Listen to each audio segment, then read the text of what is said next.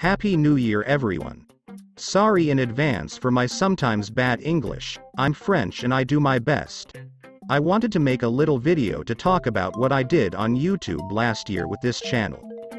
First of all I want to thank you all. It's only been one year since I started the Rumble hockey videos and you were already 486 subscribers.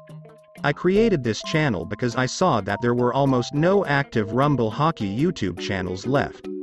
I am also very happy to see that some of my videos seem to help you progress and learn new things about the game when I read your comments. Also, as you can see, I sometimes take breaks between my uploads but don't worry, I'm just looking for new ideas or working on my studies. For now, I'm going to post a video every two weeks at least, but I might post more when I get serious about the game again. Take care and see you next time.